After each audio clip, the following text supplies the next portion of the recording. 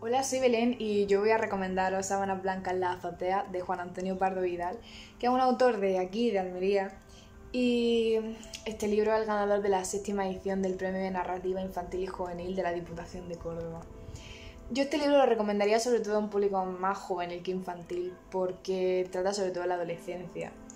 Y a mí me ha encantado, de verdad que sí, me ha gustado muchísimo. Me gusta mucho cómo escribe el autor, eh, cómo se desarrolla la historia y yo lo recomiendo un montón. Porque entre toda la literatura infantil y juvenil que he leído, esta es de mis favoritos y súper recomendable.